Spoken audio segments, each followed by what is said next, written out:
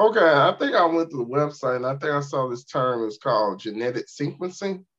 Yes. What does that mean? Well, all of us have um, in more or less every cell in our body um, the genetic information that, that, first of all, is responsible for human development as an embryo, and then um, for essentially carrying out all the physiological functions, um, you know, in terms of day-to-day life. And um, that information is encoded within the nucleus of the cell in the form of the, the mm-hmm. chemical molecule DNA, which probably most people have heard of. And DNA mm-hmm. is, um, you might think of it as an exceedingly large um, sort of cookbook telling the cell how to make various proteins, which are the, um, the things that lend structure to the body and carry out various chemical reactions. Um, and so coded within the DNA is all of the information it takes um, to produce from the fertilized egg a, a um, human infant and then uh, helps to control how an infant um, ultimately develops into an adult.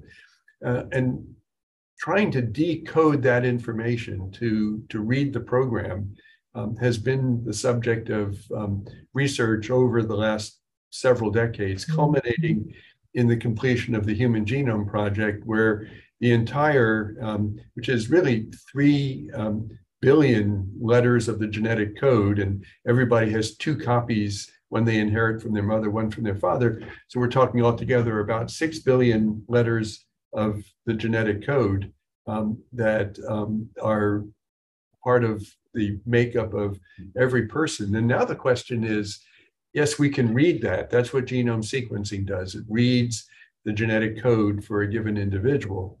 Well, the thing is that um, if you compare any two people, you're going to find that you know 99.9% of the letters are the same.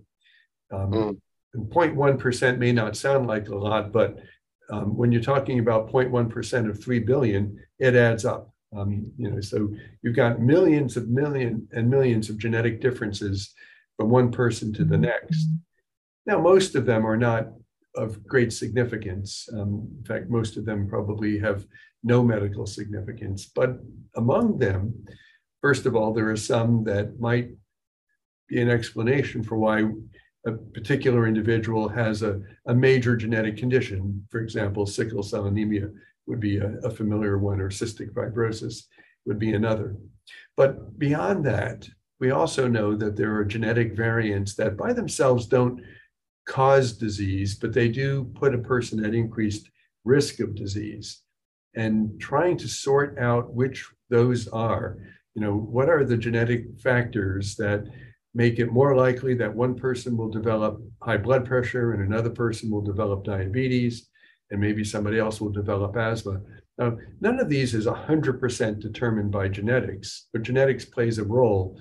And if we can begin to dissect out what those genes are and how they work, from that, we believe will come tools that will help us to identify people at risk, prevent disease wherever possible, and to treat it more effectively.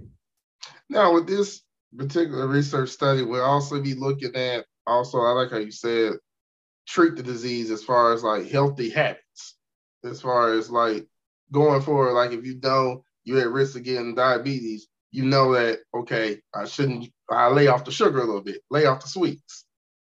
Right. So, um, you know, first off, I wouldn't want to create the impression that we think that you know genetics is the entire answer to any of these conditions. They are complex and um, always probably the outcome of combination of genetic risk factors and environmental factors, behaviors. Um, you know, pretty much the entire um, life history of an individual sort of feeds into this, and then out comes um, the possibility of disease. And so uh, we're not trying to suggest that the genetics are the cause of everything or the answer to everything. And in fact, the All of Us program is collecting information on environmental history and um, based on surveys, personal habits, and things of that kind. So um, it's really a complex equation, and we're trying as best possible to capture as much as possible um, to integrate all of that into the study. So um, genetics is a big part of it, but by no means the only part of it. And when you do identify an individual at risk, obviously the next question is, so what can you do about it?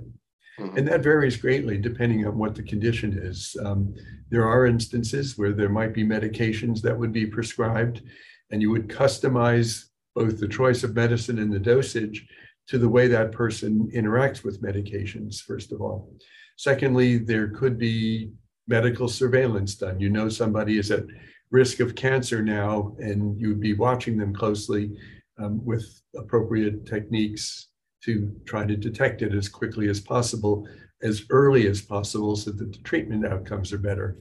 Uh, but indeed, you know, some of the things that might come of this is to realize that a particular person needs to pay attention to their diet, to patterns of exercise, and things of that kind. Now, re- really, we'd probably argue everybody should be paying attention to diet and exercise, and and that is, I'm, I'm sure, true. But it can be motivational to realize that you're at risk greater than somebody else of developing diabetes, and you can make a difference to that risk and avoid some of the really um, serious outcomes. And although you know it's it's easier said than done, I'm sure, for people to change their diet or their lifestyle.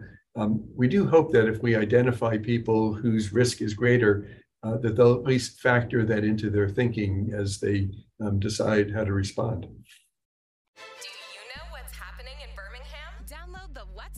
Birmingham app today on Android, iPhone, and iPad for free. Get info on everything you need to know about local news, events, businesses, restaurants, and more. Visit our website, what'shappeningbham.com, or follow us on social media at happeningbham for more information. Download the What's Happening Birmingham app today, your source for everything Birmingham.